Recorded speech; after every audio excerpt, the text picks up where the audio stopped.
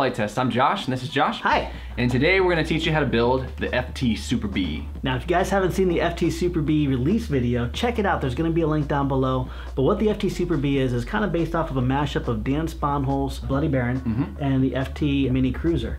Now, the design for this was actually to be something that go really fast, easy to transport, really quick to build, and kind of have something to have a new take on FPV wing racing. Now this is more like an intermediate to expert kind of plane. right? Definitely intermediate to advanced. Um, this is a 100 mile an hour plus airplane if you prop it with some really aggressive motors. Uh, but also you have differential thrust, which gives you the ability to fly really cool maneuvers, line of sight, uh, or FPV. Now before we get started, there are a couple things you're going to want to do. First, let's look at the servos. You're going to want to center up your servos, and if you haven't used a servo center tool before, there's a link down below that'll show you exactly how to do it. Along with the servos, you also want to build your power pods. Now there's a link down below for your power pods, but with the mini power pods, you do have an angle on the motor that's sometimes different from other power pods, so they're not switchable with all the Mighty Minis.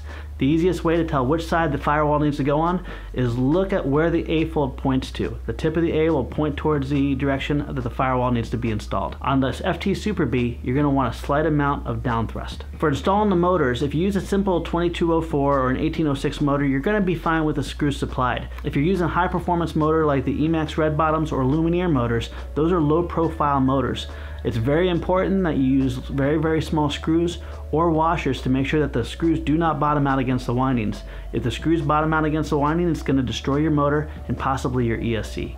Now would be a really good time to solder together the ESCs. You don't need to use the power distribution cable to do this. All you simply need to do is take the positive and negative and connect it to with either an XT60 if you're using a high performance setup or an XT30 if you're using the 1806s. There's free downloadable plans and obviously we're going to get our materials in order. We'll get started. If you guys want to support us through the store, you can also get the speed build kit. All right, let's go.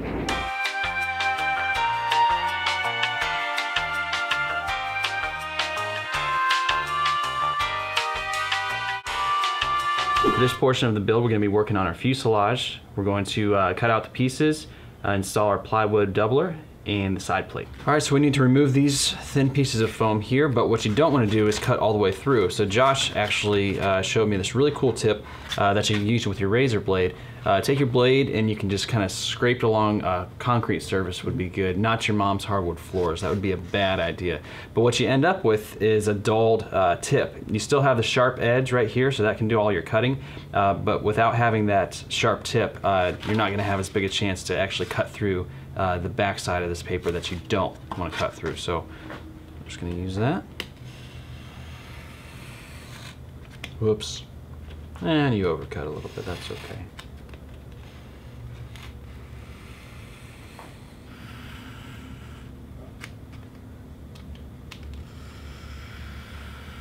So the blade still cuts through real nice, but without going all the way through.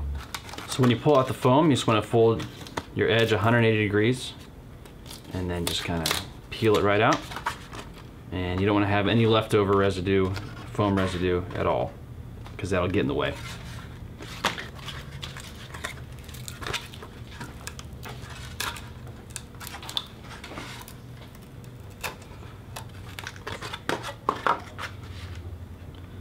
All right, same thing again. Don't want to cut all the way through, just want to score it. And then just peel this right off so that you have this paper left over. And you'll see why. It'll be a nice surprise. While removing the foam, go ahead and pop out the remaining pieces that need to be removed for your servos and your tail mount. Don't cut your friend. Don't cut your friend. That's not the memory you want to have. One thing we wanted to do is make this extra durable because it's going to be going so fast and also protect your camera and your batteries. So we put this plywood piece that's going to go ahead and mount right here. Now you're going to notice that the two holes with no hole in between are going to go up towards the front. The front hole is going to line up perfectly. We're going to have this area open here because that's going to be a recess for the receiver to be able to sit down into. So now that we got the mark where we want, I just went ahead and put a little crease on. We're going to go ahead and fill this area with glue. And I like to put the glue on the foam first because if you put it on the wood, it's going to dry very, very fast. And we really want a strong joint here. I'm just going to go right up to the line that I had.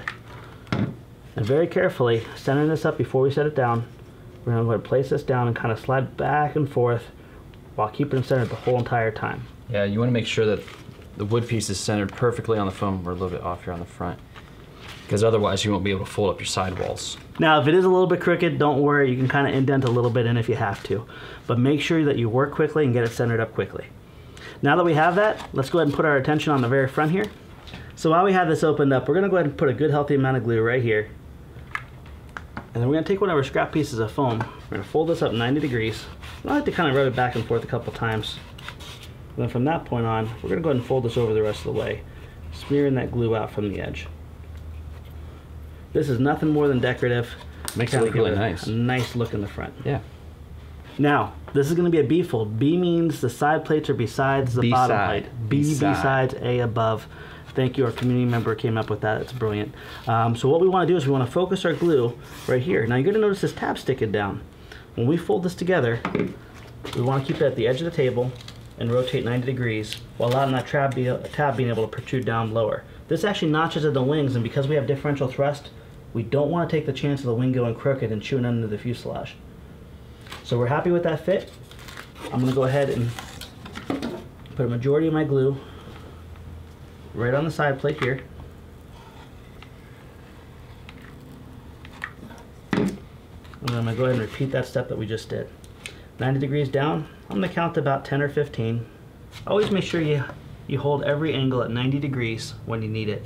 It's handy to have a little triangle. We actually sell a crafty kit that gives you your hot glue gun, glue sticks, triangles, cutting knives, everything you need to be able to build our models. But you can also cut this out of wood. All right, we're gonna repeat the exact same process on the other side. First, we'll go ahead and do a test fit, make sure that we're happy with the fit. That looks really good. Fit test. And then once again, we're gonna focus our glue on the side plate. And keeping the bottom plate on the table, push it down against the table with the side plate, and then holding it to 90. Count to 15 seconds. And then 90 degrees again, flip around the other side. Now we have an incredibly strong reinforced nose, and we're ready to move on to the next step. So these are our sidewall reinforcers. So a notch here and a notch here, and that's gonna fit right over this wood piece here. You wanna check that fit, make sure it presses down really good. You wanna make sure that it's nice and flush here at the top, which if it's not, kind of go through, just rough this up a little bit.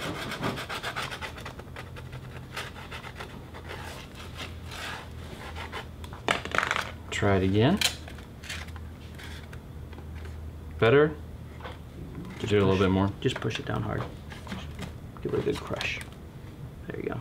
Now it is. Okay, there we go. Okay, so now that you have a good fit, you want to make sure that you glue the correct side. You don't want to make that mistake. And a good way to, to know is uh, we can go ahead and peel this paper off of the foam here. If you peel off the paper, especially on a doubler, you're actually gluing the foam to the other surface paper. If you glue paper to paper, you can still peel off the doubler uh, because you're only adhering the paper. Gotcha. All right.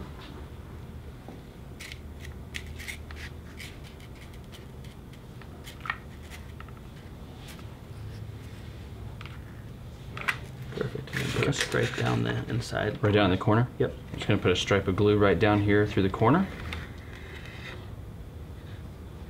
Back in here too. Okay. Oh, There we go.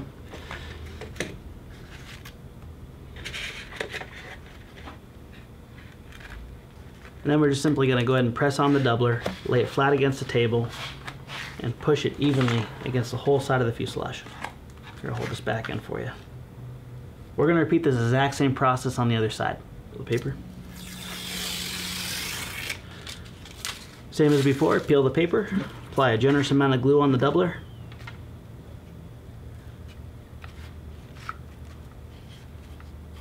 Then follow up with a nice generous bead along the whole bottom crease between the side plate of the fuselage and the bottom plate of the fuselage. I'm going to have a glue drip on me. Don't do that.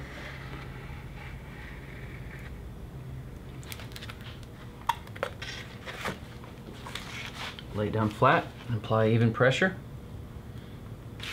If you want to make things just a touch more durable, we're going to go ahead and take some hot glue and we're going to focus a bead right on the center line here. And what I've already done here is I've taken a scrap piece of foam and I've cut a notch just the size of the width of the fuselage. Now slide this in and then lightly drag this over. And what that's going to do, it's going to smear both layers down and kind of press that hot glue down in there. Now be careful you don't burn your fingers. But what you're going to end up with is a nice, smooth bead of hot glue that seams these both together and makes it very rubbery. This is a belly landing airplane, so you don't want this to get torn up over time. This is going to make it last much longer along with our water resistant foam. We're going to do this process on both sides.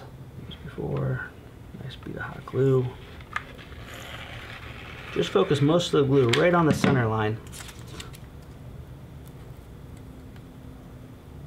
Just like to lock it up there.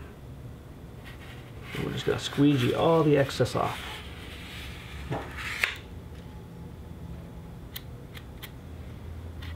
There we are. Nicely done. This portion of the fuselage is now complete. We're ready to move on to the next step. In this portion of the build, we're going to go ahead and cut out our tail pieces, cut the hinge line bevel for our elevator, and then also glue it together, install our doubler, and then place our servo in, and the control horn, and our reinforcement. For our tail assembly, we're going to go ahead and knock out the pieces of our elevator, our rudder, and also this doubler that's going to kind of recess the servo and protect it a little bit. First things we're going to do, let's go ahead and just knock out our little tabs for where our rudder's going to go. Let's go ahead and fold this over 180 degrees against the top here. Now what we're going to need to do is a bevel cut. You can do this two different ways. You can use a sanding block and sand the elevator side to a 45 degree angle. Or what we can do is we can take our razor blade and keeping our thumbs clear, we can cut the bevel. Now for the bevel, I'm going to show you kind of up in the air here. We're not going to hold the razor blade 90 degrees. We're going to hold it closer to 45 or 50 degrees to the hinge line. Once we have this, we're going to put our razor blade just ahead of the fold and keeping our thumbs clear, we're going to slowly drag this over, keeping the razor blade just above the paper.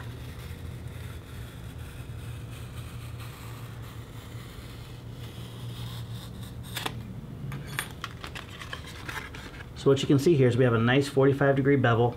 If you don't get it right down against the paper the first time, don't worry, you can go over it again and again. If at any time the foam starts balling up, you need a sharper razor blade or a new razor blade. You have plenty of deflection, there's no resistance, Let's go ahead and take a scrap piece of uh, foam and do a reinforced hinge. For reinforced hinge, we're going to go ahead and place our hot glue gun in the nozzle right against the paper and put a very, very thin bead right against the hinge line. Now the scrap piece of foam cut out, we're going to go ahead and scrape all that glue that we just put down right off. What we're doing is we're actually impregnating the paper and the foam with a little bit of hot glue and it's going to keep them fused through moving. One thing you don't want to do while this is drying is close it. So go ahead and put this aside and let it dry for a couple minutes. But the most important thing that you see is that there's no glue residue left once we scrape it off. You can see that little shimmer there, right? Because you want to be able to have a full range of motion, right? Exactly. Here, I'll just do that. You don't want there to be any resistance with the elevator moving up and down or else it's going to overbind the servo and cause it to fail. All right, Josh, why don't you show them how to put the rudder on? Okay, for the rudder, you have these grooves here, these teeth. I don't know if these are technical terms, but teeth and grooves work for me. Pop. Fits in just like that. Just gonna put our glue down in here.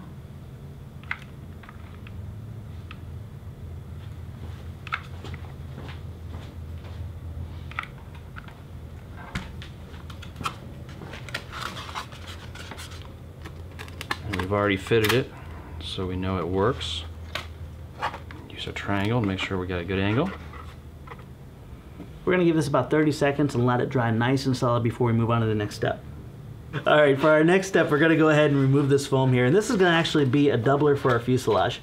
To remove it, we're gonna take our modified razor blade, we're gonna lay this down against the build table, and we're gonna go ahead and press this all the way through, and then just remove these pieces of paper. This is purely aesthetic, but what it does do is it seals the edges and makes a nice paintable surface makes the plane just look in general a lot better. Mm -hmm. Also, because we don't want to glue paper to paper, we're going to go ahead and remove this bottom surface of paper as well. Now we're ready to go ahead and move on and mount the tail to the fuselage. First thing we want to do is test fit the tail. Make Good sure, fit. Yep, and the most important thing you want to look at is make sure that it's a nice tight fit on both sides of the fuselage between the tail and the fuse. That looks really good. Perfect. That's where a nice tight B-fold really comes into play. If it was really soft, you wouldn't see that. Right. All right. Okay. So we're going to go and focus our glue down there, and just go on your glue the same width that you have on your fuselage So it doesn't have to be perfect, but just go ahead and put on the tail.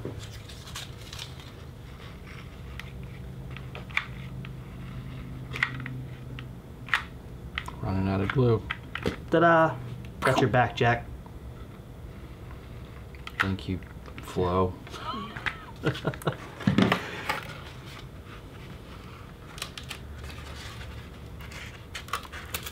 Perfect. Yep. And what Josh is doing, he's basically using one hand to press the fuselage against the other hand, which is holding the tail. At this point, you really don't have to worry about 90 degrees. It should be perfect. Give this a good 30 seconds to dry. For our next step, we're going to go ahead and test fit and get this ready to glue in. Now, this is a doubler, and it's just going to be aesthetic, but it's also going to serve a purpose to kind of protect and recess the servo so it's not sticking up as high. That's my favorite piece. It is. It looks really cool, doesn't lo- it? I love how it just fits in there. when it sets down in here. Yeah. Now, one thing is you have underneath here, and we can just take a barbecue stick.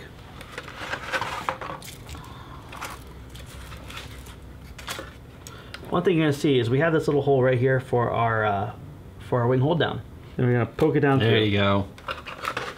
Let's go ahead and do the other side, and there it is. All right. That was much easier. Let's go ahead and apply some glue and glue it on. Also, you're going to see here on the servo, we basically want this to be centered up on both sides here and here.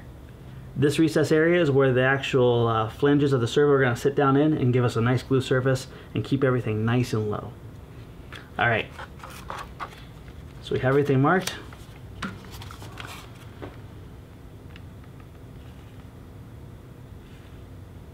Nice healthy bead of glue Looks like a wall plate for a light switch. Oh my gosh, it does. You're right. You're gonna place this down in and line up just how we did before. Make sure our little holes still line up, that we don't need to reposition those. Great. We're gonna go ahead and give this about 30 seconds before it's dry. Once it's dry, we can go ahead and put our attention back on these side plates here to make them look nice. I'm gonna put a nice healthy bead of glue right on the side here. And I'm gonna take a scrap piece of foam. Always keep the scraps close by. I'm going to slowly start working this down. And what I really want to see is as the glue's slowly drying, we're going to start creeping it right out the edge. Just like that. And we're going to go ahead and wipe off the excess. It's going to make a very, very strong joint. We're going to repeat that exact same process on the other side. Up 180 degrees. Nice healthy bead of glue. And as you guys build more and more airplanes, you're going to learn exactly how much to put on. The biggest thing to encourage you is don't get discouraged if it doesn't look absolutely perfect. Especially since this is brown foam, it takes paint really well. I encourage you guys, once you get a couple maiden flights in here, go ahead and paint it up. Personalize it, make it your own. There we are.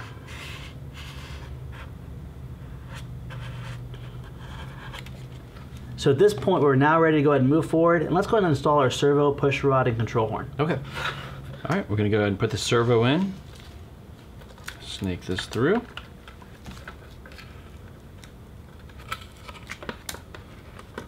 And with the servo arm closest to the back, because we want the shortest uh, amount of rod possible, because we don't want it to flex too much. So it should fit in just like that. So now we're going to go ahead and put our attention towards the control horn. And for the control horn, we're going to go in the furthest out hole. Now in our kit, we have these Z-bend wires. If you are scratch building this, you can get this wire from our store as well if you don't want to have to source it out. But it's basically spring wire. We're going to go in the furthest out control horn because we don't want a lot of throw on this. It's very, very sensitive on pitch, very maneuverable. If we go too close, you're going to be taking it out of the servo and limiting the throw. That kills our resolution. Once we have this where we want, we're going to go ahead and carefully fit this down into the notch. I like to just kind of drag this through. It'll slightly rip into the paper. But what you should see once we push this down all the way is that the holes, which don't currently, there we are. So weird working with my left hand, sorry. What you're going to see is when you put your control horn in, the holes directly line up over your hinge line. Now with this neutral, we're going to go ahead and put our attention towards the front here, and we're going to go all the way to the middle hole, right here. And what I like to do is just put my thumb right on that. Uh, do you have a pair of needle nose? Yep. There you go. Now you could use linkage stoppers, but this plane's going to go about 90 miles an hour, and I don't like linkage stoppers because eventually they can come loose if you're not using Loctite properly and not inspecting regularly. So what I'm going to do is I'm going to go and grab this. I'm going to go and bend straight down, and I'm going to go in about two millimeters, right here. And then I'm gonna bend straight towards us. What this is gonna make is a modified Z-bend. The modified Z-bend is really good because you can actually remove the hole and swap it in and out depending on how you like it.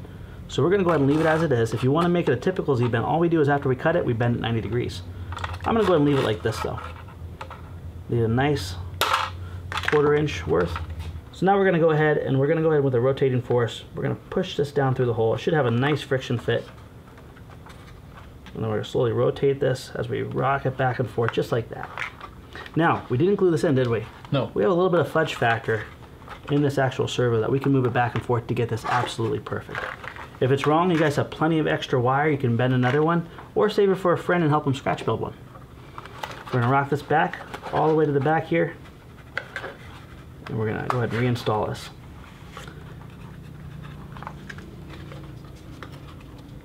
If we're happy with everything lays, we can go ahead and glue this down. So first thing we're gonna do is we're gonna go on the back. Gonna put a nice healthy bead of glue and press this in. Now, I can't stress this enough. This is your pitch authority. So we're not going to give this 30 seconds. We're going to give this a whole entire minute. Okay. We want this to dry nice and solid. We don't want to mess. We don't want to move the control surfaces because if it weakens at once, it's going to be very hard to get that strength back.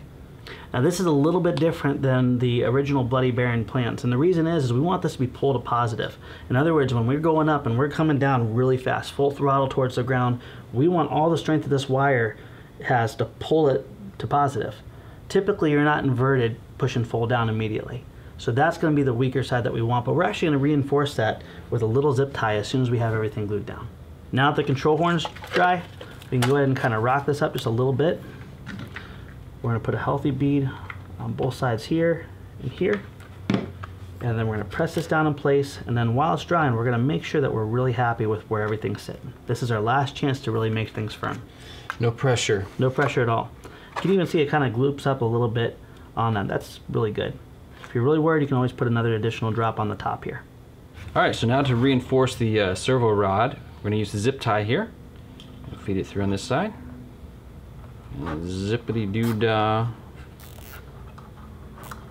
Tell me when to stop, Josh. Uh, a little bit tighter. Perfect, right there. Right there? Yep, and then Okay. you're gonna go about a half inch down and cut at a really sharp angle so it can actually poke through the foam. Okay.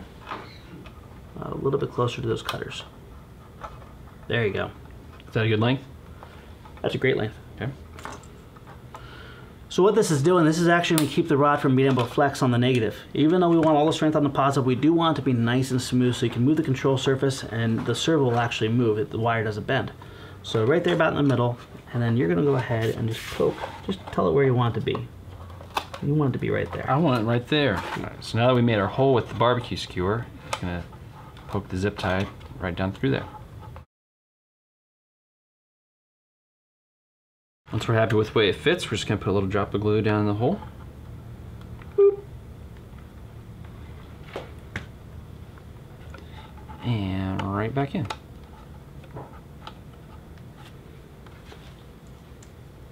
In this portion of the build, we're going to be assembling our wing, our wing spars, but we're also going to be cutting the bevel for our ailerons, installing our servos, and assembling our push rods and control horns. So for building the wing, we're only going to really need two pieces, but we're going to have to cut a couple bevels. So go ahead and take the time now to go ahead and remove the holes that you see here. We're going to leave these two plates here and here alone until we get to the end of the build.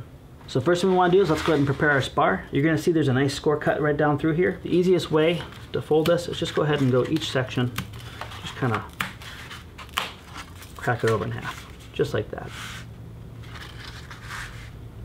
And now we can go ahead and take our glue. We know exactly where we need to fold on each piece. Josh, you want to help me? Let's just go ahead and uh, fold these two over. Give these a good 30 seconds to dry. All right, before we glue this onto the wing, let's go ahead and cut our double bevel. Now, with a double bevel, it's really important that we don't go through the center line because we're going to be cutting very close on both sides. But if you do, you can always go back and reinforce with tape, so don't worry about that. I'm going to go ahead and do one side kind of for you to see real easy. Once again, it's the same process as the hinge line. We're going to go at a nice acute angle, past 45 degrees, get as close to the center line as possible. It is a cute angle. It is very cute. It's downright adorable. Now, if you don't want to hold it in, in the sky, I'm going to go ahead and scoot right around through here. You can put it on the table like this. And if you guys are wondering how to build without the use of razor blades, we have a really good video that Josh and I did on all the different techniques that you can use. And you can definitely substitute those techniques for this. So before we put our spar in, we want to make sure we establish a nice general angle. So we're going to really carefully press this top plate and slowly rock it down. See, I'm not doing just one clean bend, just rocking it real slowly. Mm-hmm. We just want to make sure this leading edge knows exactly where it needs to bend before we go ahead and put the stress on these out- areas right here. Okay. So we have that now, and we're ready to move our spar. We want to keep this wing as thin as possible. You're going to notice two etch marks here and one over here. This is the area that our spar is going to be glued down to.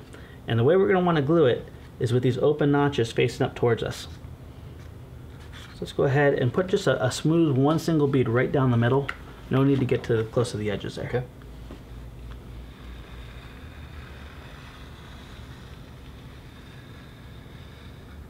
Perfect. Let's go ahead and lay that over and line it right up in the middle. Just like that. Now we've established our fold. This technique I cannot stress enough. We do not want to push down too deep into the foam. We want to make sure we just give a light crease, mm-hmm. kind of like the tip of a ballpoint pen, just kind of breaking the surface tension. So what we're going to do is just lightly crease this. We're only going down through the paper, not through the foam. If you go down too deep, you're going to get a very blunt leading edge. And that's going to cause for a slower, more wobbly airplane.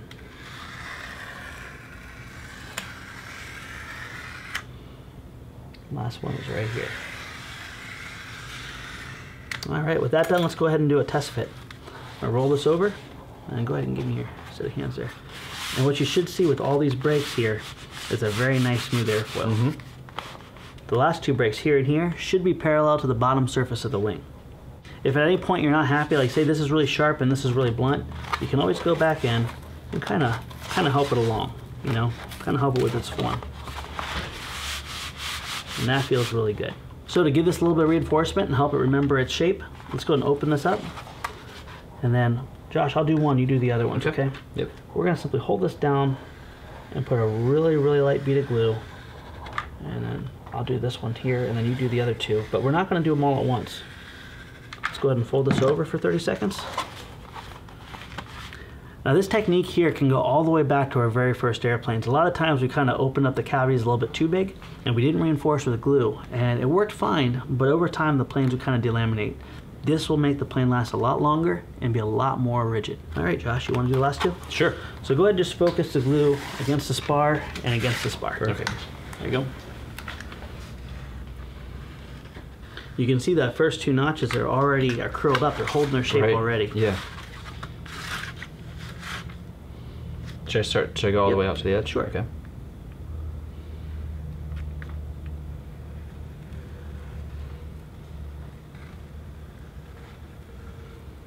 Perfect. Okay. All right, let's go and fold it over. So we're going to make sure that the trailing edge is nice and flush against the very bottom. Perfect. We'll give it about 30 seconds. So the wing now has its shape. We're going to go ahead and glue the spars and the leading edge together. And let's go ahead, since it's such a small wing, if we can be quick enough, let's put a nice bead on the trail edge as well too. Okay. All right? Sure. So we got plenty of glue on our glue sticks. By the way, you're gonna notice this is a nice white glue stick. Um, in the past, we've talked about solid glue sticks not being good. This is our own specific brand of glue stick that we had specially made for foam board and our water resistant foam board. So we have this for available at our store, but you can also uh, use multi-purpose glue anytime. Flite Test glue. Flite Test glue for Flite Test foam. Burn your fingers with the same stuff that Josh burns his fingers. Yes, and scream just as loud too. We don't want to take the paper off of that. Nah, nah, we're okay on this one because it's completely captured. Gotta be quick. Yep. Make sure your glue gun can deliver plenty of glue. If it can't, just break this into two steps. Save the trail edge for last. All right, same as before. About 30 seconds. Let's give it a minute. There's a lot of folding in this step. There is, but it goes pretty quick. Once you built this once, you can really build one in under 15 minutes. Wow. It's pretty impressive. The longest portion is really routing the ESCs and the wires.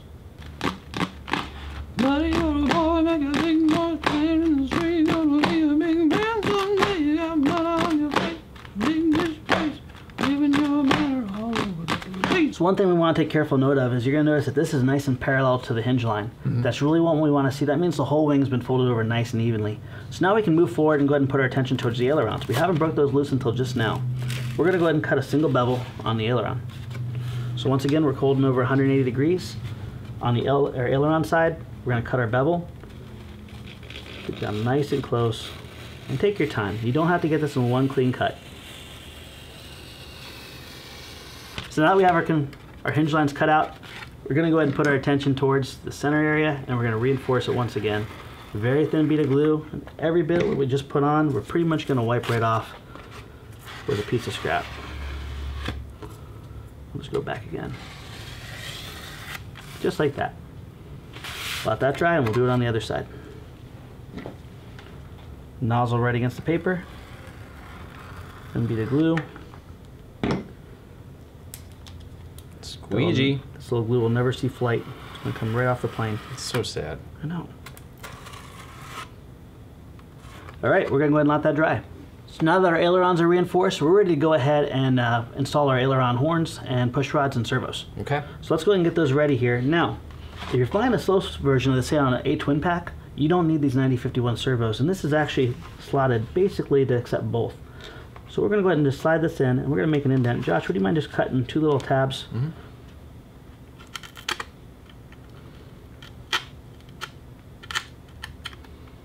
Now that's cut, we're gonna go ahead and guide this down through.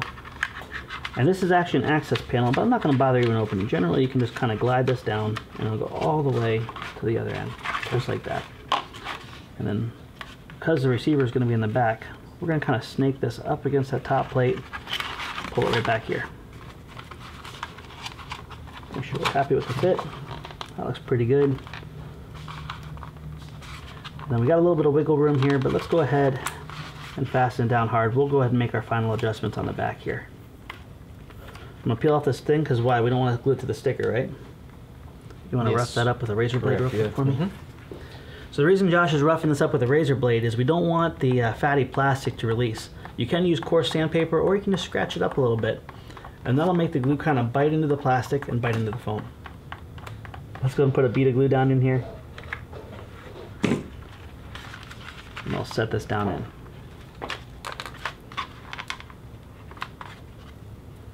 Now, you have a little roll of tape next to you here. Mhm. One thing I kind of like to do is just take that thin tape and just put a little strip right across it.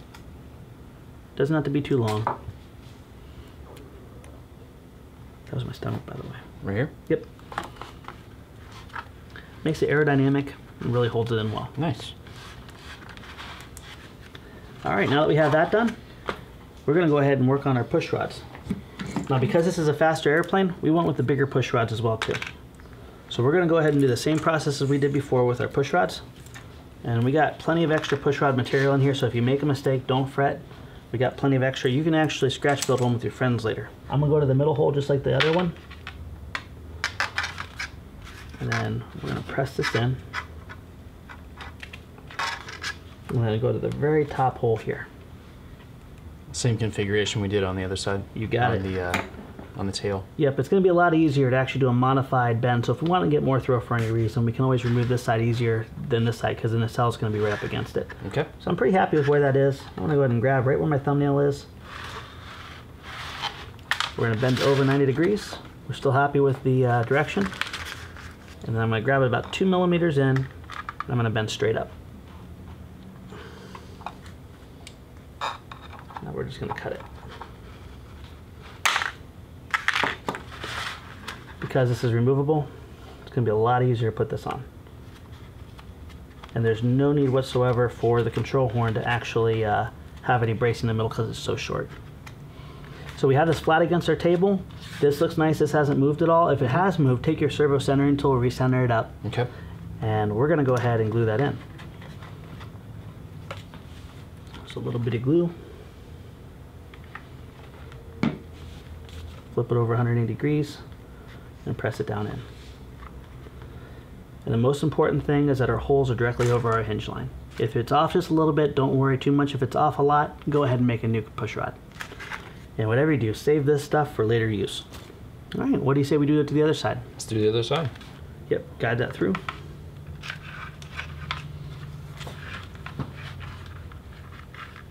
There you are.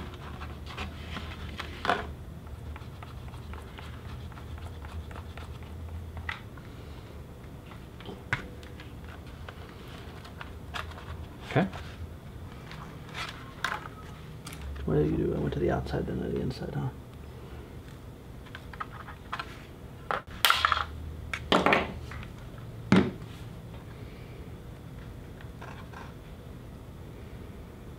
At this point, the wing is assembled, the ailerons are in. We're ready to move to our next step, which is the nacelles and the ESCs. In this portion of the build, we're going to be building our nacelles, mounting them to the wings, running our wiring, and mounting our power pods.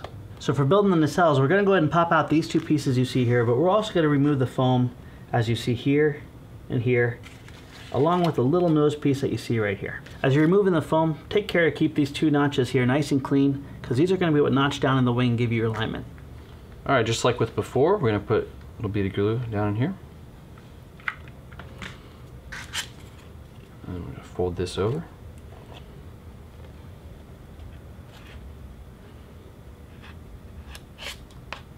That's a good job. Thanks. Give us a nice leading edge there. This is really nothing more than decorative, but it does keep the wear and tear down on your plane. All right, so our next step is a B-fold, isn't it? Right. So with the B fold, B for B side.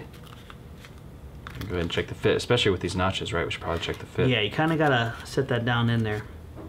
And what I would do is I would do the side without the notches 1st mm-hmm. That way you can get a nice square edge, and then the other side can rest against it.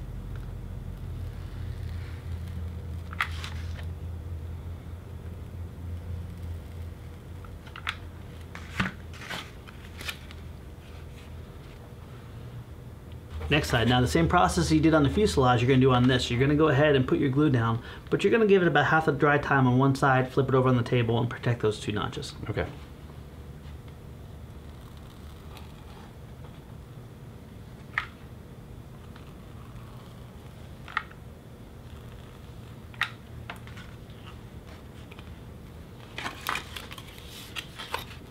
And always use a table as your friend. Whenever you're folding these, push the edge hard against the table so you get a nice hard edge. And about halfway through, spin it around. Same process as before. All right, one nacelle's done. We're gonna repeat the exact same process on the other side. The nacelles are now done. We're gonna go ahead and get ready to put these on the wing. Uh, but first, let's go ahead and do the easy thing, which is gonna be to route our ESCs now rather than a little bit later. Okay. Because that way we don't have to kind of try to pluck them out and get our fingers down in here. Right. So for the ESCs, we've already went ahead and soldered this, and I actually put a little lead. I'm going to fly this eventually FPV.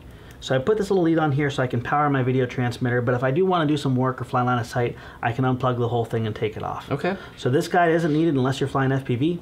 We're using our 30 amp BL Heli one shots from Lumenier, along with our Emax red bottoms on this to give it a lot of speed. These are inspection covers. I'm just going to slide it through right now. Don't really necessarily always need to open them up, but what I am going to probably do is cut the inspection covers off because going to get very hot. There we are. And let's see, we got these little guys here. You can actually reach down and kind of puff these up. There's the last one right there. So we don't have a tremendous amount of room here. It's pretty, pretty tight. So on the other side, it's going to be a little bit more difficult. We're still going to pass it through.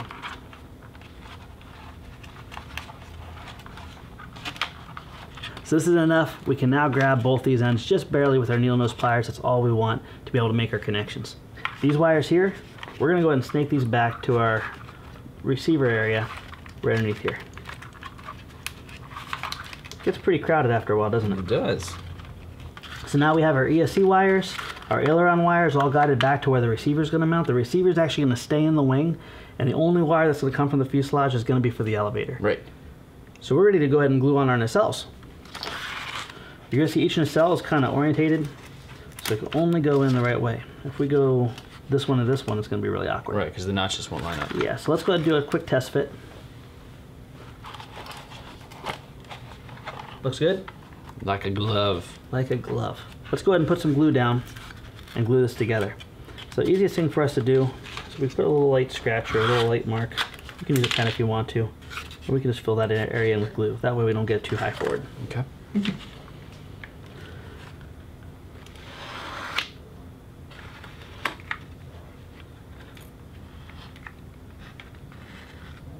I can't stress enough this area has to be really, really strong because this is what's holding the motors. And if one shifts, this plane can't fly on one motor. It has to have two. What I'm doing here is I'm going to go ahead and go this right on the trailing edge because we know that's nice and 90 degrees. I'm going to make sure that this is nice and 90 and we're going to push it down nice and hard. What you're going to find if you glue these in crooked, you're going to find that your plane is going to excessively wobble. Now that our nacelles are glued in, we're going to put our attention towards the motors. Now, with a brushless motor, if you want to run one direction, uh, you just plug all three in, and if it's the opposite direction you want to run, you switch any two of the wires. Right. We have a really great beginner series on that that explains that in depth. So we're just going to go ahead and take a gamble right now. Okay. Ultimately, what I'd like to see is I'd like to see the motor spinning where the outer blade is, is crossing over the top of the wing on the outer panel. Right. Just to put as much air over the top wing surface away from the fuselage. Um, so I'm just going to take a gamble. We're going to plug any of these three in here and there's not much real estate with these Lumeniers, so you're gonna have to kind of get your hands in there and maybe use a pair of pliers if you have to.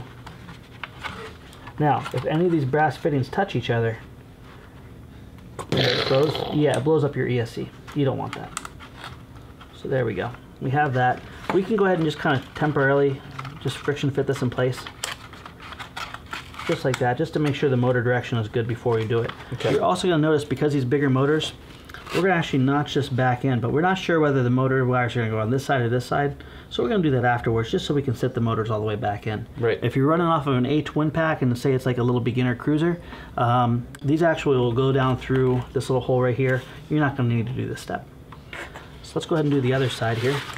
So if you have a servo tester, there's a really cool trick you can do to see which direction the motors are going to run. We're going to go ahead and just lay this here, and somewhere over here there's a servo tester. We're going to grab both our ESCs and I'm going to turn it to manual mode, which is all the way at the top. We have these available in our store. They work pretty darn well. The only thing is you don't want to put more than 5 volts. So if you plug a 2-cell battery into them, you're going to smoke it. You need to either run it through an ESC or only use one cell of your uh, battery, not two. There we go. So we're going to go ahead and plug this in. It's turned all the way to zero, so it's not in calibrate mode, which these are actually all pre-calibrated. All right.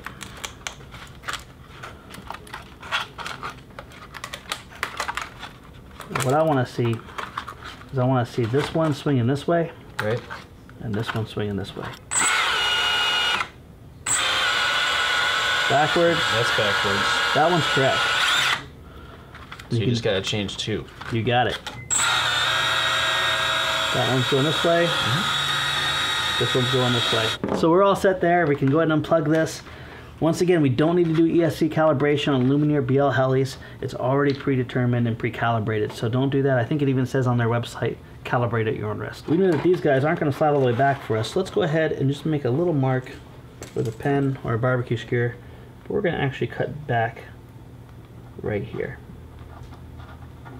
So we could have pre-cut this, but if you're using a twin, you don't need to do this step. Now keep in mind with these high performance motors, I know we talked about it during our PowerPod build portion when we were talking about it. These are low profile motors, so make sure that you don't have your wires or your screws extending into the windings. This would just be a really good last time before you mount this to really make sure everything's good. Once we're happy with the spacing, we're going to keep this just about a millimeter or two ahead of the uh, actual uh, cheeks. Okay, once we have this in where we want it, we're going to go ahead and take our little barbecue skewers. Actually, let's just start the hole with this wire. Poke them down through on all four corners. The reason I'm using the wire is just a little bit sharper. And then we'll pass through the barbecue skewers. Hopefully it'll come out the other side. Right there. Ooh.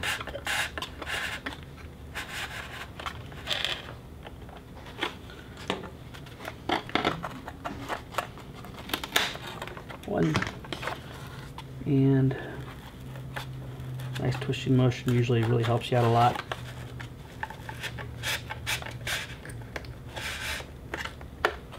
It goes right through that one perfectly. That's that's pretty lined up. we don't need to go super long on these because you really shouldn't be taking them out too long. Easy way to cut this nice and flush without it splintering. It just put a little cut, rotate it, little cut, rotate it, and then it wiggles right off without splintering. All right, you want to do your side, Josh? Sure. Now, if you don't intend on swapping this back and forth with different airframes, you can always take a piece of tape and actually tape over this as well too for some added reinforcement. Now, a couple things here. Because we're going to be running four cell setup on this, let's go ahead and open up our little tiny cavities here. And say we're running a three cell, uh, you know, just a conventional A, A twin. These aren't really going to get that hot. You don't need to worry about it too much, and you can keep these uh, sealed. But in this case, I want to actually pop this up and cut this off just to let that ESC breathe mm-hmm. really easy. These ESCs aren't cheap, they're 20 bucks a piece. And we don't want to blow them up.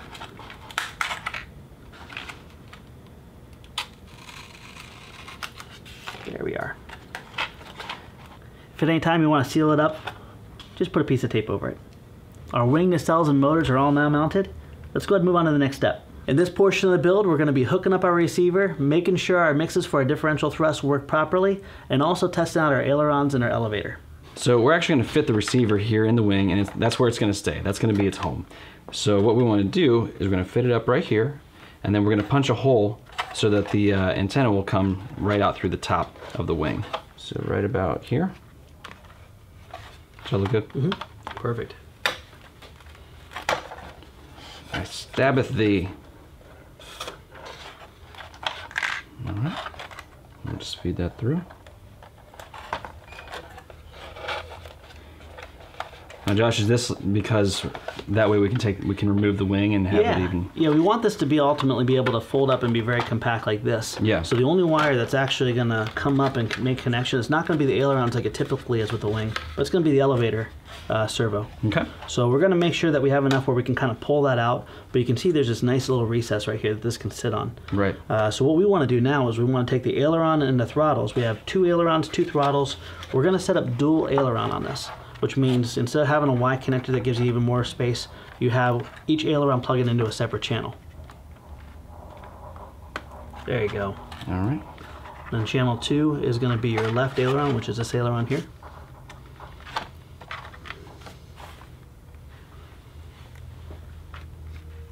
All right. And then the right aileron is going in channel five, right? Correct. Okay. The ground's still up. Ground still up. You got it. And then right ESC, channel six. You got it. Okay. Perfect. So now what you can do is you can actually kind of tuck these in and tuck them back underneath the spar Okay. to get that extra slop out of the way. So now we're going to go ahead and go through the logic. We did that pretty quickly, but we have differential thrust and we also have dual aileron setup. Now we're using the Graupner setup, but you can use this logic on Spektrum, on Futaba. Just read your user manuals because Futaba, you may have a different channel mapping than Spektrum or Graupner. Uh, but Graupner and Spektrum are the same. Uh, we also have a really good video on differential thrust. The only thing is we use channel 5 and 6 for those mixings. So what we're going to do right now is we're going to actually walk you through and give you some screenshots of our Graupner MZ12 to show you how we set that up. For dual aileron on the Graupner MZ12, I went to model type, went down to aileron, and selected dual aileron. I then went over to free mix. I did mix one, that's PT, that's my throttle to channel 6. Rudder to PT, that's throttle. And rudder to channel 6. Now on mix one, when I click on it, I went ahead and adjusted travel all the way to 100 on both sides. Rudder to PT, which is throttle, I went ahead and went negative 95, just under 100. And rudder to channel 6, I went positive 95. When you hit view, what you should see is that 1 and 6 move together, but when you move rudder left and right, you'll see that they coincide. When you hook up your ESCs, make sure that when you give right input, that your left motor is speeding up, and vice versa. Left input, your right motor is speeding up. So right now what we're gonna do is while we have this separate, we're gonna go ahead and power this all up here and put power to it just to make sure that the ailerons are going the right direction and also the ESCs are calibrated. So if we did this right, these ESCs are pre-calibrated, so we don't want to do any ESC calibration. You can also hear the one shot, can't you? Mm-hmm. And then the ailerons are perfect. Now, if we flip this around, when you push the stick to the right, right aileron goes up. When you push it to the left, left aileron goes up. And likewise, when you push this to the right, the left motor should spool up. And it does. And now Now- the right one does. That's because we have the throttle and the and the uh, rudder mixed together. Yep. So basically, what we have is we have the throttle mixed to the rudder. When we give it together, they both spin together. When we want to give yaw input, as we give push it to the to the left, the right motor is going to actually spool up, giving you a positive yaw effect. Right. Uh, that'll torque it over this way.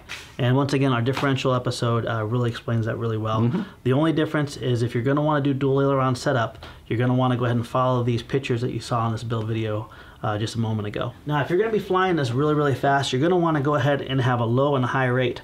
But let's go ahead and check our throws here. And what you want to do is you want to adjust your travel just so it comes up to this point here. If you're flying very, very fast, you're going to want to go ahead and get a very minimal throw. Now, if you're an experienced builder, you can go ahead and keep the throws right where they are and go at full throw. This is going to give you a roll rate so high it's almost blurry. So I would set up those three throws. High for experienced. If you're not experienced, you got low. And then you got high there. Let's go and plug in our elevator while this is still good. And make sure our throws are centered up there. Okay. So that's going to go into channel three. All right. All right. So our elevator is backwards. When we pull back, it should go up. Mm-hmm. It's going down. So I'm going to go ahead and switch that over. Go down to channel three. Now we have our controls, but it's way too high. So rather than going ahead and adjusting this to dual rate, we're just going to go over to travel adjustment. We're going to move it down to about 75. That's a lot more reasonable. If we want to, we can even go in an additional hole right here and cut down the throws even more. Okay. But that looks good. All right, everything's all set. What do you All say right. we put our barbecue sticks in and do the final touches before we main it? Let's do it. So for completing the plane and getting it ready to fly, we're going to go ahead and mount the wings. But to do that, we're going to need to use these barbecue sticks to give the rubber band something to grip onto. Now we've already established our back holes right here, so we can go ahead and pass that through. And I'm going to leave just about a half of an inch on each side, right about there. You don't want to make it too long where it hits the ailerons, but you want to keep it short enough so it doesn't get intrusive. I'm just going to go ahead and rotate this right over a razor blade. We're trying to show a couple different methods on how you guys can do things, so whatever you feel most comfortable with, you can do. Once I roll a razor blade over that, just a little rock, get you a nice smooth edge. Now for the front ends, we haven't really established this, but we have this barbecue or this uh, this hardwood piece. So I'm going to go ahead and angle this in just slightly, just to get above that. I want this to ride hard up against that piece right there. I'm going to go ahead and do the same process on the other side. Go in through the hole. You may have a little bit of glue you got to push through and kind of ride it on the top. Now we're going to take it right over to the other side and pop it out. Once again, about a half inch on both sides. Put down on the table.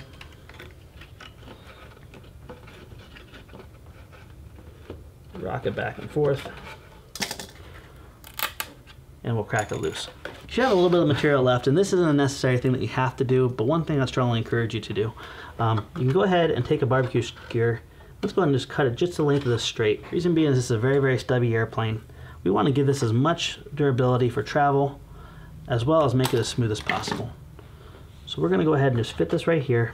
Once we're happy with that fit,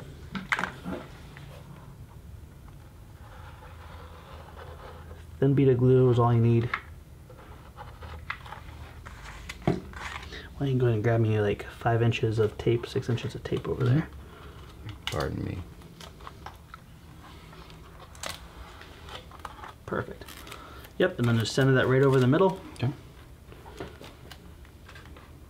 and then tape it down.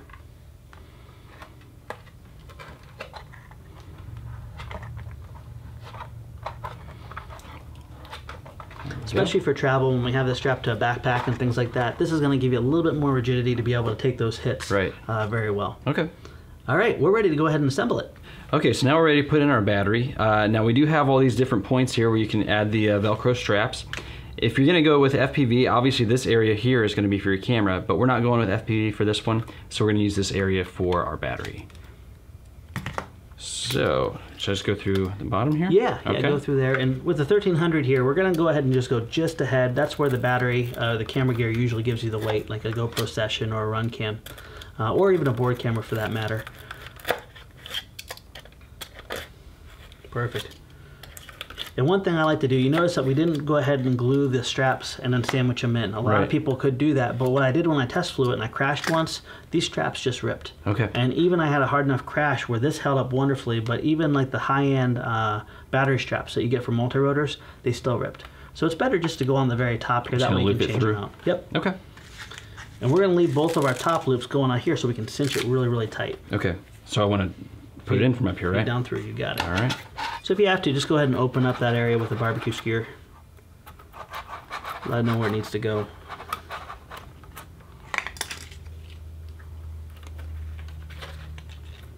There we go. Nice. Perfect. Yep, and just pop that through. There we go. Nice. And one thing I like to do here is we can actually go ahead and cut this portion off if you want. I'll show you why in a second here. And then glue this portion down here. Because that way what you can do is you can actually pull this tight Right. and then stick it right on top here. Okay, cool. So let's go ahead and do that now. You don't have to. Everyone has a kind of a different way and a different preference. But this is just an easy way to do it. And also, if it does rip, you just simply unglue this and you're back in business. Just make sure you don't get any glue on the top there. So right now we're going to be showing you the picture of the Super Bee that we featured in the video with FPV gear on it. If you want to go ahead and copy that setup, just go ahead and do your placement and always check your battery balance because every battery, every gear is going to be different. But this is how we did the FT Super Bee with FPV. All right, ready to put the wings on? Yeah. All right. So here's some rubber bands here. We're going to use four rubber bands because we do not want this to break.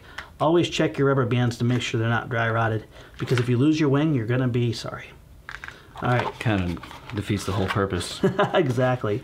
So we're going to pass up the uh, elevator servo right there. Come on. There we go.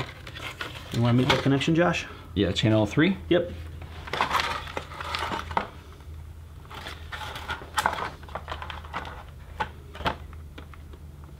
And you can even take a piece of tape if you want to secure this down. Mm -hmm. Just take a piece of tape and put it over top. If you need to get to it later, you just undo it.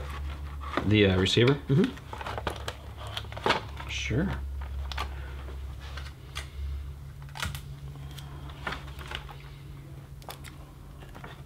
It's right here. hmm Yep, just right over the top. Just kind of hold it in place, you know? Yeah. Okay. All right. And then these two guys are going to go ahead and pass through. We have this for the option of FPV later, so we can always add that in.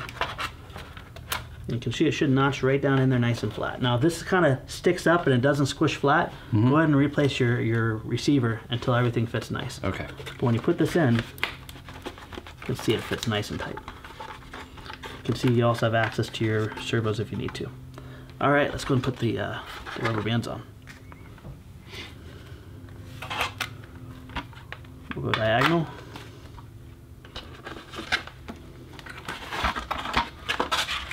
Then along with diagonal, why don't you go ahead and go straight across. Okay.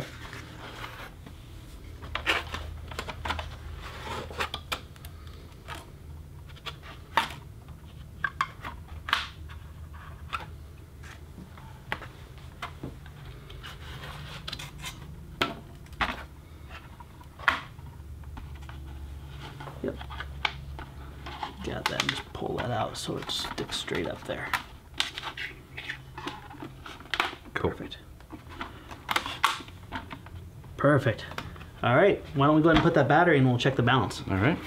Now in your kit you do have three strips that you can use and we also include this Velcro as well. So if you need to use the Velcro to hold things down nice and secure, go ahead and feel free to do so. How's that feel? Cool. All right. See these two little That's cutouts? your balance points. Yep. Okay. And you want just slightly nose down. That's a little more than slightly. So go ahead and shift that battery back a little bit. So keep moving your battery until you see just a slight nose down tendency. It's always better to maiden a plane with nose weight, but you don't want to go so heavy that it's a lawn dart and you got to hold lots of up because then you'll have poor stall characteristics. Now the plane is all balanced, let's go ahead and put our props on and take it out for a maiden flight. Okay, we've got it balanced and calibrated. Yep, and the props are now on. I strongly encourage you to never put your props on until it's ready for the maiden. Anytime you need to do work, especially with digital programming, take the props off. Just take those extra three, four minutes. They are the danger zone. They are the danger zone. Stay safe. So, if you guys have never maiden something before and you want to this is your first time, check out the video link below. Six quick tips for a successful first flight.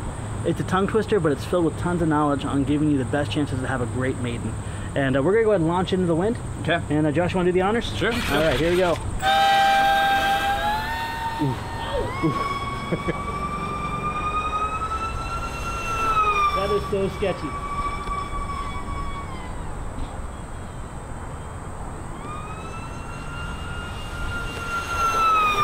Oh, it's so fast. Here we go.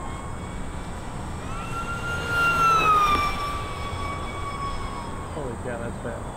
Remember that challenge that we did like way back in our like first year, where it was like you're trying to build the fastest plane? For... Yeah. And now it's so easy to to. to